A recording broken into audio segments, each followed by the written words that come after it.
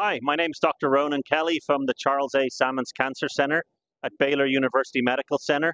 And I'm delighted to talk to you today about a poster that we've done in conjunction with Exact Sciences involving multi-cancer early detection. So this study, as you can see here, is called the Falcon Registry. It's um, a multi-cancer early detection real-world evidence registry to try to understand the impact of MCED testing on Americans. So here we'll see some of the background. It's estimated that 14% of cancers are detected through standard of care. That means we have a huge population of patients in the US who only present with alarm symptoms and we haven't detected the cancer early. We need to do something to change that if we're going to bend the mortality curve. As we know, the new National Cancer Plan calls for a, a reduction in cancer mortality of 50% over the next 25 years. Early detection is the only way to do that. And this is one of the largest studies that's ongoing in the US.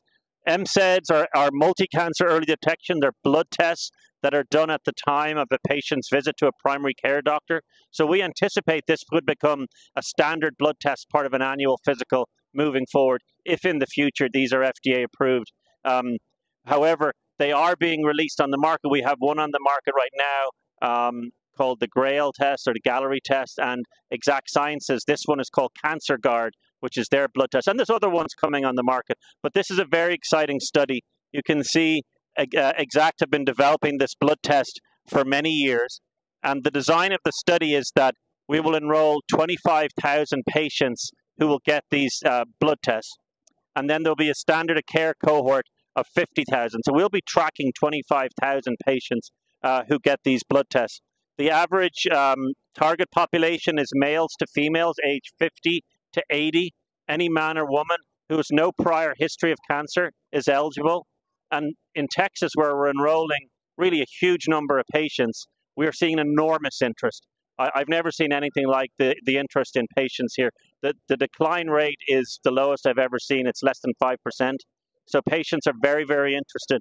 Um, they are presenting through our primary care services and the doctors are talking to the patients about enrolling on this study.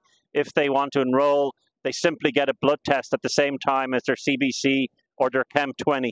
Now, if we look at the um, the diagnostic workup here, when you get a blood test, this goes to Madison, Wisconsin, to the laboratories of Exact Sciences. It takes about, we say two weeks, but it's actually in reality a little bit shorter to get a result back. Sometimes it can be 10 days. But I think 10 days to two weeks is a good estimate of when the result will be available. This is available on our EPIC uh, chart, so the doctors who ordered it can see it. It's a positive or negative result.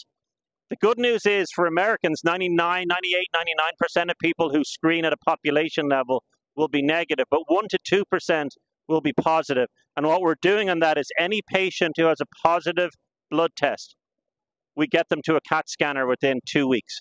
And we're controlling that narrative through our smartphone app on our phones. In Baylor Scott and White, we have a smartphone app called My Baylor Scott and White Health.